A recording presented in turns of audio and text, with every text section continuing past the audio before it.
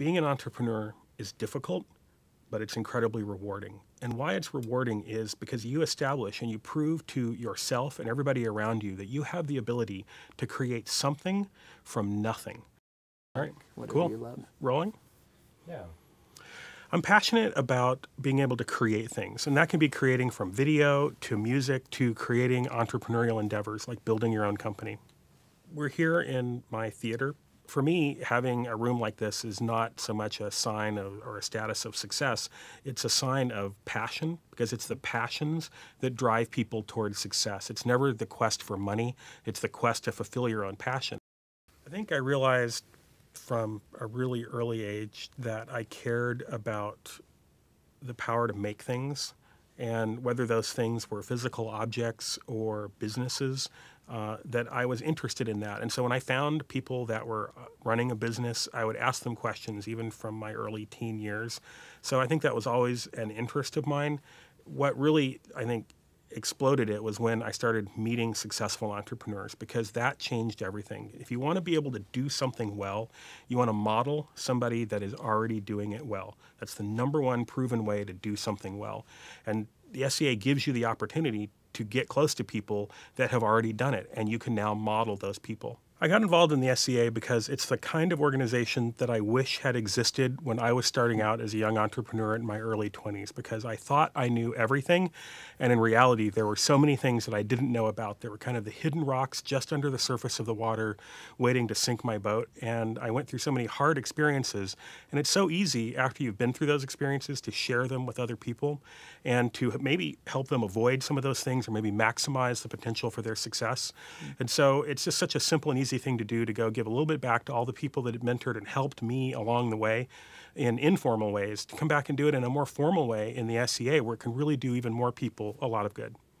Entrepreneurship is full of highs and lows. So you have huge successes and you'll have a lot of failures. Mm. And the interesting thing is you learn the most from the failures. Mm. And so those are the experiences that you take with you that will help make the next success even bigger. And so I remember both the highs of the successes, but also the failures, because the failures to me are the most valuable thing for me to take forward. If you want to be an entrepreneur, you have to learn that failure is going to be a constant companion. Whether you're actually failing at the moment or just fearing failing, it's always going to be there in the back of your mind. And in fact, it's that fear of failure that drives you forward to success.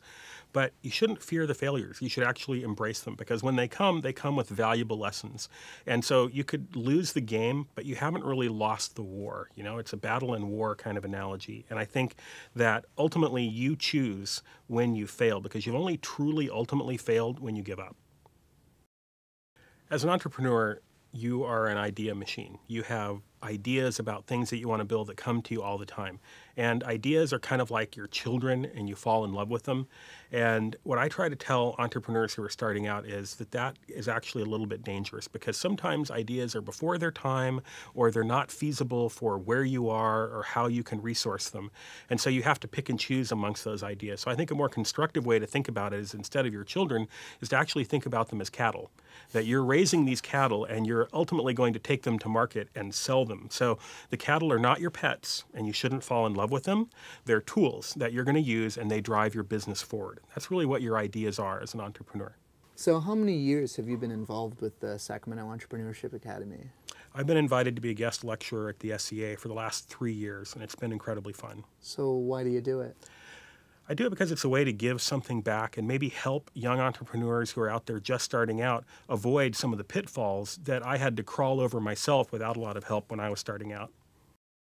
SEA is hard to get into, and I think that's the way it should be because it's a grueling thing being a successful entrepreneur. And those of us that are taking our time to come and teach people that want to learn these skills that are incredibly valuable, both financially and personally, we want to make sure that those people are actually going to put the skills to work because entrepreneurs build the structure of our society. They're really one of the remaining few classes of heroes that are out there because they help build jobs and help drive our economy forward. So I think in the future, the SEA plays a key role now in educating young entrepreneurs that want to go forward and take on that challenge. And also, I think the joy of being able to execute against their own vision. I think it was a lemonade stand when I was 12, and uh, I underestimated cost of sales, had poor return on margin, and uh, went out of business in an afternoon. Uh, and I think it's a lot of those kind of failures uh, through life that actually teach you the things that you need to look for that are keys to success.